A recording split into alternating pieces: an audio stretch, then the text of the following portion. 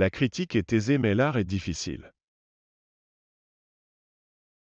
L'expression « la critique est aisée mais l'art est difficile » signifie qu'il est facile de critiquer le travail des autres, mais il est beaucoup plus difficile de créer soi-même quelque chose de valeur.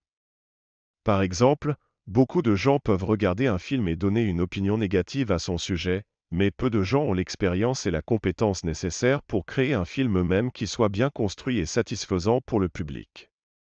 De même, on peut facilement critiquer la cuisine d'un chef, mais il faudrait beaucoup plus de travail et d'expertise pour créer un plat de cuisine innovant et savoureux.